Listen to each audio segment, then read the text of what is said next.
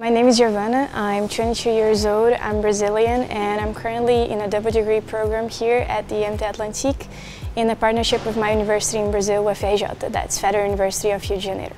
I discovered very early about the importance of effective cancer diagnosis and treatment in my own family and that became sort of a personal battle for me. I was very curious about this area of nuclear technology. Somehow I put two and two together and decided I wanted to be a nuclear engineer and I'm very passionate about it.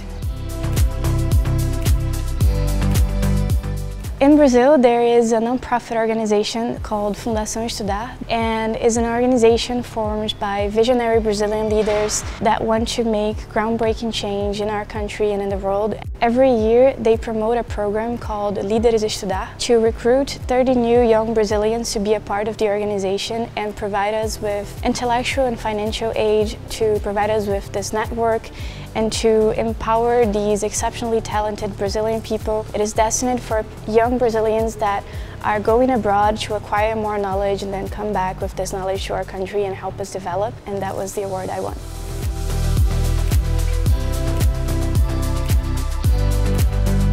Winning this prize was like stopping and breathing just a breath of fresh air to tell myself, you can do this and you can do so much more.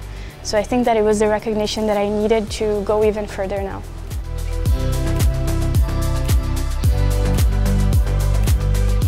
I found out about IMT Atlantique at my university. IMT Atlantique was the one that seemed to me that prepared us the most for the job market because we could learn and apply what we learned all at the same time, not only during the practical work sessions during classes, but also during workshops and projects that we have contact with real companies, and I think that makes a very big difference.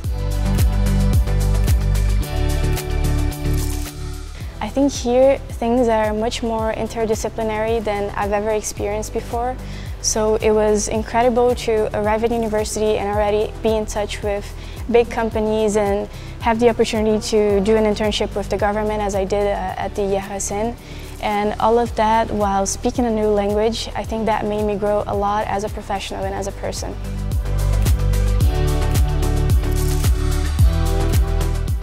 After I decided I wanted to be a nuclear engineer, there was only one program that was in Rio and I come from the northeast of Brazil, a very small city.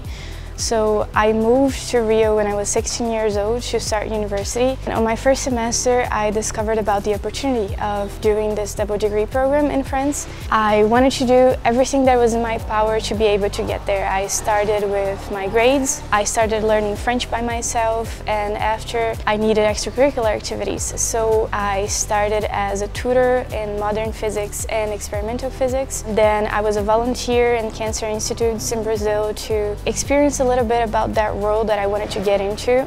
After that, everything started to come together. I started out in projects in collaboration with ECTA-CERN, that's the European Organization for Nuclear Research, and it was also a personal dream of mine to one day get there because I knew that if there was a place in the world that was looking for answers, this place was the CERN.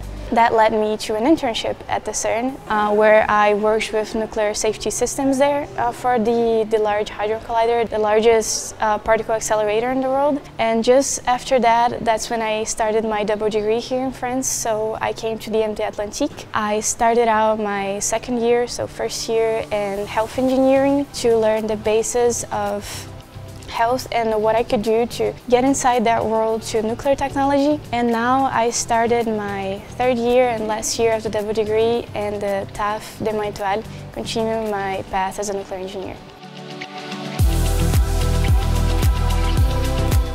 My path up until now, it was very research oriented. I always wanted to be a scientist.